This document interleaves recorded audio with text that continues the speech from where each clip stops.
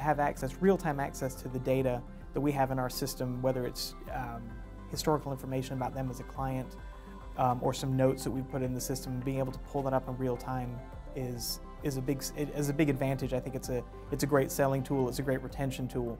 Um, you know, producers don't walk in with big stacks of paper that they're rifling through for information. It's all stored there right in the system in real time. And if they make changes or if they add notes, that information is sent back to the account manager who's servicing the account so that they in real time can see what's happened, what discussions have been had. You know, maybe they've decided we're going to, or they're adding an additional location in a few months, and so the producer will put some notes on his iPad and it automatically goes over to the account manager. So now they're in the know. All right, this is something that we have to put in our system to be ready for.